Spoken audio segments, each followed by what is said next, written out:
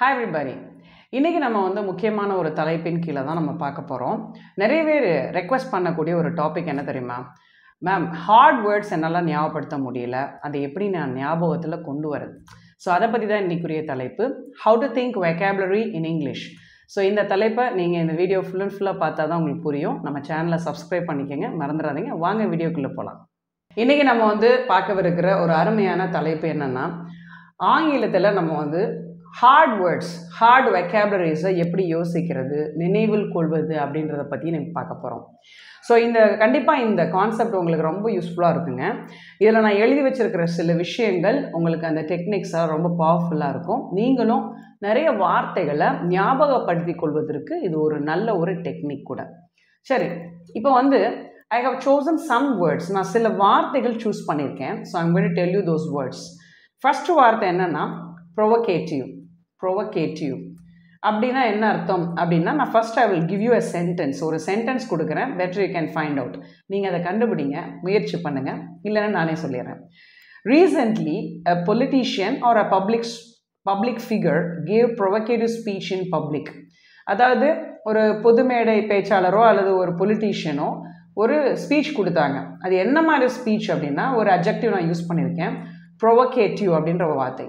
So இது என்னுடைய அர்த்தம் என்ன அப்படின்றத நீங்கள் சொல்லுங்கள் உங்களுக்கு தெரிஞ்சால் நீங்கள் காமெண்ட் செக்ஷனில் நீங்கள் பதிவிடுங்க. இல்லைன்னா நான் சொல்லிடுறேன்.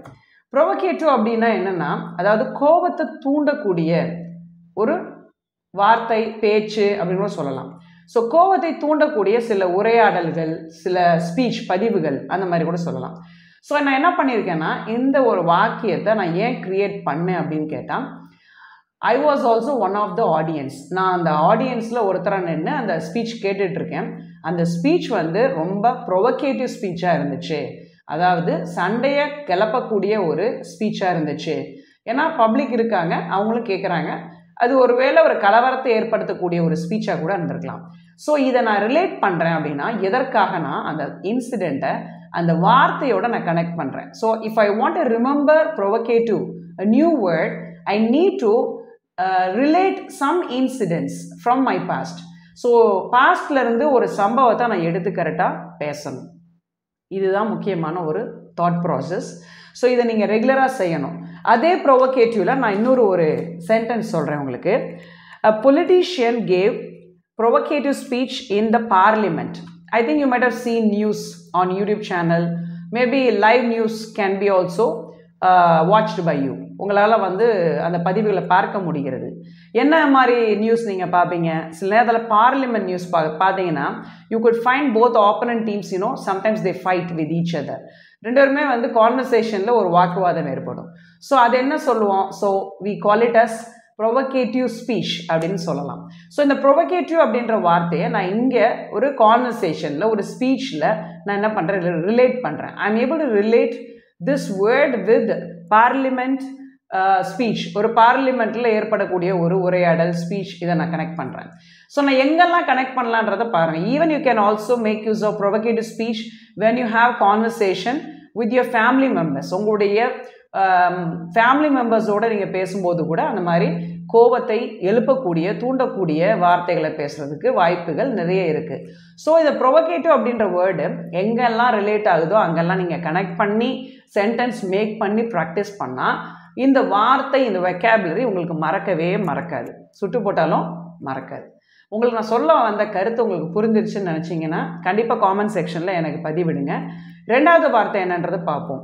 இந்த வார்த்தை நீங்கள் கேள்விப்பட்டிருப்பீங்களா எனக்கு தெரியாது. So I think this maybe the first time you if you're listening if you're hearing this new word அப்படின்னா you can just tell me in comment section gleeful gleeful அப்படின்ற வார்த்தை என்ன? I had gleeful smile when I won the competition ஒரு காம்படிஷனில் நான் பங்கு பெறேன். அதில் நான் ஜெயிச்சிட்டேன். ஐ ஓன் த காம்படிஷன் அப்படின்னா ஜெயிச்சிட்டேன். So I had a gleeful smile on my face அதாவது என்னுடைய முகத்தில் ஒரு பெருமிதம் கொள்ளக்கூடிய ஒரு சிரிப்பு.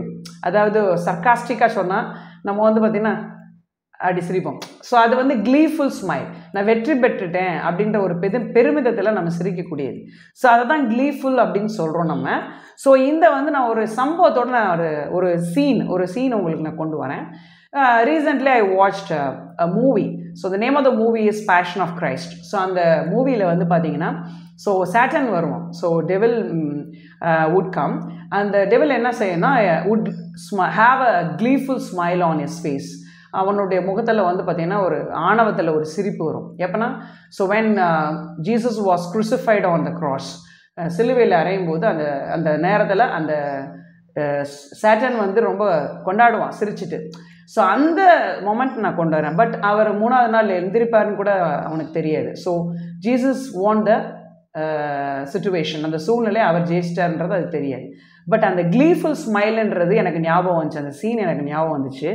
பாருங்க Satan made a gleeful smile when Jesus was crucified on the cross but he didn't நோ தட் Jesus would rise from the map so என்னோட அர்த்தம் என்னென்னா அதாவது சேட்டன் வந்து பார்த்தீங்கன்னா ஒரு நக்கலான ஒரு ஸ்மைல் கூட சொல்லலாம். ஒரு சக்காஸ்டிக்கான ஒரு திமிரான ஒரு ஸ்மைல் கூட சொல்லலாம். நான் ஜெயிச்சிட்டேன் அப்படின்னு நினச்சிட்டான்.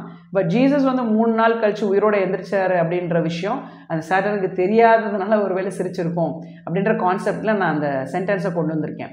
அந்த அதில் ஒரு சீனே வருது இந்த சீன் ஸோ எனக்கு அந்த சீன் ஞாபகம் வந்ததுனால I am just bringing this word gleeful க்ளீஃபுல்ன்ற வேர்டை நான் ரிலேட் பண்ணுறேன் so you should also relate some incidents with the new word which you are going to learn or which you learn every day தினமும் நீங்கள் படிக்கக்கூடிய அந்த வார்த்தையில் நீங்கள் அந்த வார்த்தையை என்ன செய்யணும்? ஞாபகத்தில் கொண்டு வரணும். அதை நீங்கள் இன்சிடெண்ட்டாக ஒரு சம்பவமாக ஒரு பேராகிராஃபாக மேக் பண்ணணும். இப்படி பண்ணும்போது இயல்பாகவே அந்த வேர்டு உங்களுக்கு மறக்கவே மறக்காது. Because you are relating some incidents சில சம்பவங்களை நீங்கள் கனெக்ட் பண்ணுறதுனால அந்த சம்பவத்தின் மூலமாக கூட you will be able to remember the meaning of a vocabulary and the usage of it அதனுடைய பயன்பாடையும் நீங்கள் கரெக்டாக பய நீங்கள் வந்து கற்றுக்க முடியும். ஸோ இப்போ இந்த வேர்டு வந்து உங்களுக்கு ரொம்ப யூஸ்ஃபுல்லாக இருந்திருக்கும் நம்புகிறேன் அடுத்த ஒரு வார்த்தை. ஸோ நீங்கள் தான் அதனுடைய அர்த்தத்தை எனக்கு சொல்லணும். அதே மாதிரி ஒரு சென்டென்ஸ் மேக் பண்ணணும். So the word is fuzzy F U S S Y fuzzy so உங்களுக்கு சின்ன ஒரு என்ன சொல்கிறேன்னா ஒரு க்ளூ கொடுக்குறேன். நீங்கள் ஃபைண்ட் அவுட் பண்ணிக்கங்க.